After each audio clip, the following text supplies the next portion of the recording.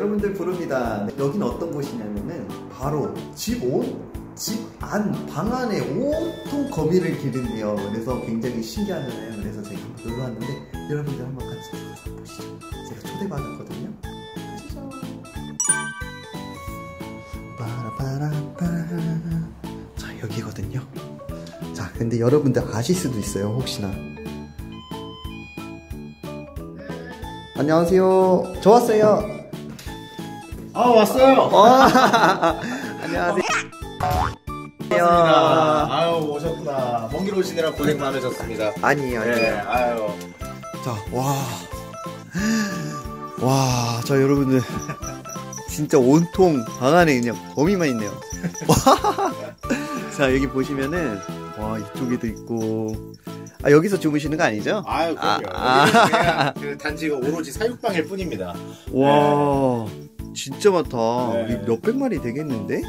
제가 여기 왔으니까, 네네. 우리 구독자분들이 네. 타란툴라에 대해서 약간 무서워하시는 분들이 있는데, 아 그럼요. 예 많으시죠. 좀 이쁜 친구들 혹시 구경시켜 줄수 어, 있나요? 이쁜 친구들이요.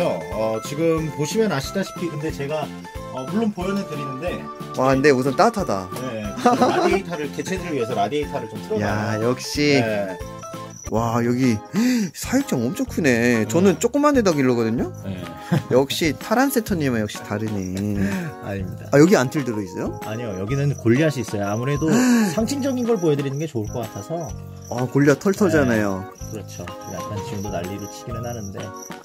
어, 만약에 네. 싫으면 굳이 안 꺼내줘도 돼요. 아니에요, 내가. 얘가 계속 나와요. 와, 핀셋 30cm짜리 다 들어갔어. 어. 다 들어갔는데 안 나와. 와, 드디어 나왔다. 이게 이제 Goliath birdeater라고 해서 세계에서 가장 큰 타란툴라라고 보시면 됩니다. 이 녀석이 그나마 타란툴라라고 하면 제일 상징적인 의미가 있어요. 와, 이 친구 그거죠. 그 참새 먹는다고 유명한 네. 맞습니다. 네, 맞습니다. 야. 실제로 사육 시에 십자매를 먹이로 주신 분들도 많으셨어요. 십자매. 예. 어, 예. 얘네들은 얘는 그나마 좀 나와 있어. 이게 뭐예요? lesser bright예요. 아 bright lesser blue 아 lesser 그 Xenesthis 종류잖아요 네, 맞습니다. 그 타란툴라 에도 종이 막 우와 진짜 이쁘다 탈피한 지 얼마 안 돼서 발색이. 많이 예쁩니다. 와 진짜 이쁘다 여러분들 등갑 보이세요?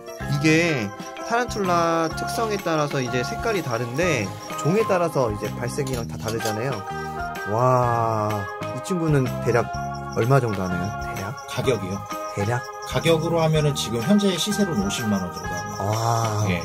여러분들 들으셨죠? 타란툴라도 여러분들이 생각하는 것처럼 만 원, 이만 원짜리도 있는데 이렇게 고가종으로 굉장히 이쁜 친구들도 있다라는 거죠. 그렇죠. 제가 예전에 이거는 제가 breeding 음. 했을 때 알집들을 다 뜯으면서 좀 많이 버리기도 했지만 이게 휴지 같지만 이게 다 거미줄로 만든 알집들입니다. 야, 자 여러분들 이게 그 휴지가 아니에요. 이게 타란툴라 알집을 뜯어서 번식을 하고 남은 건데 번식을 얼마나 많이 있으면 알집까지 모으세요. 진짜 휴지라고 오해하시는 분들도 계실 거니까 이렇게 쭉 하면 거미줄들도 이렇게 보이죠? 예, 근데 이게 되게 신기한 게 물 뿌려도 안 새더라고요. 맞습니다. 예, 방수가 어마어마하죠. 개체들이 이게- 그만큼 알 뽑. 개체들이 사실 타란들이 알 뽑을 때 네. 알, 살, 산란을 할 때 거미줄 때문에 이제 그 기를 많이 씁니다. 그쵸. 네, 어 이거 작네 이거는. 이거는 이제 핑크토 알집이었습니다. 아 핑크. 네, 이거는 이제. 푸에르토리칸 pink toe였는데요. 네. 이제 초산이어가지고 되게 작았었어요. 야. 우리 옆에 있는데 얘는 다행히 지금 나와 있어요. 와 여기 skel, blue foot, metallic pink toe 야 그냥 아파트네요 아파트 그냥. 지금 진짜 놀라운 게 뭐냐면 그냥 방 하나를 그냥 통째로 타란툴라 줬어요. 그리고 여기 일반 뭐 이렇게 반지하도 아니에요. 여러분들 반지하나 그냥 주택도 아니에요 아파트입니다. 아파트 한 방을 줬어요 그냥. 진짜 여러분들 지금 댓글로 박수 한 번씩 짝짝짝짝 치셔야 될 정도입니다. 와 여기 보시면 우선은 좀 소개를 일렉트릭 블루예요. 나와 있죠. 비쳤다. 네, 이 친구 파란색이 여러분들 잘 안 보이시죠? 사진 하나 여기다 띵 올려드리고 이 친구인데 자 장난 아닙니다. 하, 제가 한때 타란툴라에서 타란툴라 미쳤을 때 타란툴라에 푹 빠졌을 때 한 100마리 정도 길렀었는데 야 그건 아무것도 아니네요. 귀뚜라미까지 이렇게 보관을 다 하시네요. 그리고 조금 큰 놈을 좀 보여드리고 싶은데 보여드려도 될까요? 큰 친구요. 사실 아우. 순놈인데 우리 여러분들은 큰 거 좋아해요. 네, 그쵸. 네. 사실 숫놈이에요. 어떻게 보면 암놈보다는 조금 떨어질 수는 있겠지만 이게 오 뭐야? 아이아 스칼렛 버드 이터라는 개체의 이제 숫놈 완성체인데 보통 야 타란툴라 숫놈들이 되게 작거든요. 근데 네네네. 어, 암놈보다 원래 숫놈이 더 작게 자라요. 근데 네네네. 숫놈이 이 정도면은 암놈이 엄청 커지는 거죠. 야. 지금 암놈이 좀 많이 작아서 암놈 대신에 숫놈을 보여드리는데 이런 개체들도 사실 되게 큰 매력을 가지고 있다라는 걸 보여드리고 싶었어요. 야, 그러게요. 여러분들 사막이나 타란툴라 거미 이런 친구들은 상대적으로 암컷보다 수컷이 작습니다. 근데 이 친구는 어, 크네요. 특이한 케이시드죠? 아, 내가 내가 받고 싶다. 와, 이 녀석은 이제 와, 진짜 우선은 세팅 자체가 네, 부티 사파이어 오노멘탈이라 그래서 네. 오노멘탈들이 나무 구멍에서 사는 그 습성을 이용해서 유목을 구했어요. 와, 이거 이쁘다. 네, 유목이 좀 요즘에 이런 유목들이 많이 나오길래 옵션에서 넣어줬는데 여기서 산란을 지금 준비 중입니다. 아예 지금 거미줄 딱 이렇게 막으려는 거 보니까 네. 벌써 티가 나네요. 제가 따로 못 건드리는 게 발색도 제대로 못 보여드리는 게 죄송하네요. 아, 이 친구는 안 건드리는 게 나을 것 같습니다. 그렇죠, 예. 이 친구는 여기 안정감이 있어서 들어갔는데 괜히 건들면 이상한 데 가요. 맞습니다. 네. 약간 브라질-. Brazilian black. 와, 이쁘다. 네, 그리고 얘도 역시 산란을 지금 준비 중입니다. 배가 야. 많이 빵빵합니다. 알을 가지고 있어서. 근데 보통 타란툴라 번식철이 네. 봄, 봄쯤에 많이 되나요? 예, 맞습니다. 그 오. 보통 현재 국내 지금 날씨가 mating 시즌이고요. 네네네. 그리고 이 겨울에 mating을 한, mating을 한 다음에 이제 그 cooling이라는 기간을 거쳐야 되기 때문에 그래서 겨울 시즌에 좀 약간 추울 때 mating을 하고요. 그리고 네네네. 날이 풀리는 봄 시즌에 개체들이 예, 산란을 합니다. 야 자, 와, 배가 엄청 크네. 네.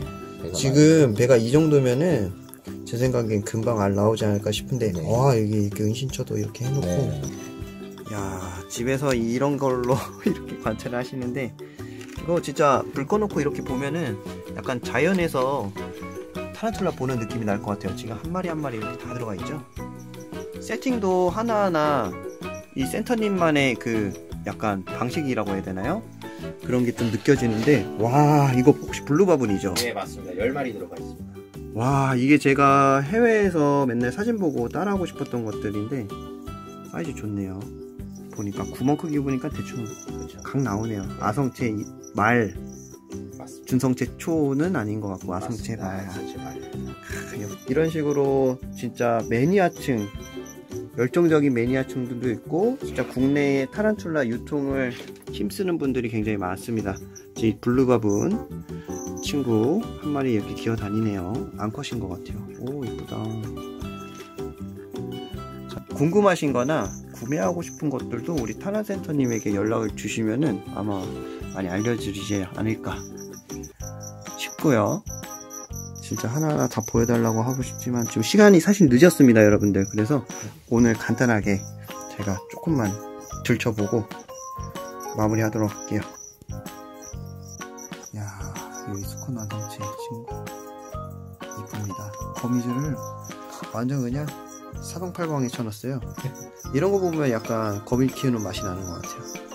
전 개인적으로 베이성보다 거미줄 많이 치는 거 좋아하거든요. 야 타란툴라가 버러우성 친구예요. 그래서 이렇게 굴을 파가지고 땅속에 들어가 있는 친구고요.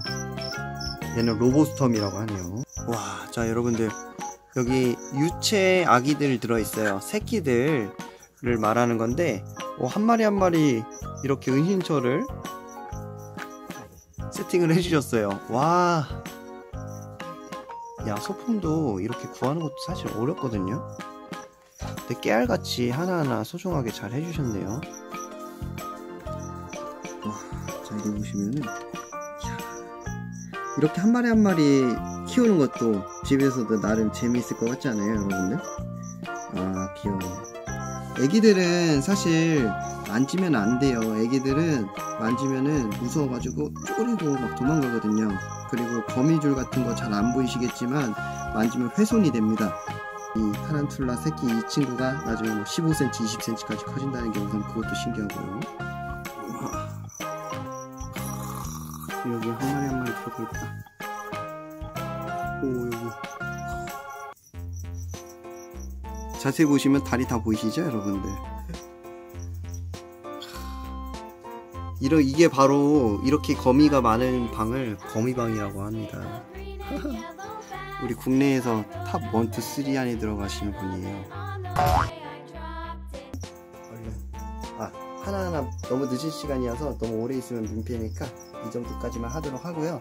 타란툴라 키우는 방법 물체부터 성체까지 그런 방식들을 여러분들에게 나중에 올려드리도록 하고 타란센터님 채널 가시면은 짝짓기 유체 사육 짝짓기 유체 사육 등등 굉장히 많기 때문에 한번 보셔서 보시고 타란툴라가 여러분들 키우기 어렵다고 하시고 독이 있어서 걱정 많이 하시는데 그런 부분까지 다 있으니까요. 나중에 한번 구경하러 가보십시오.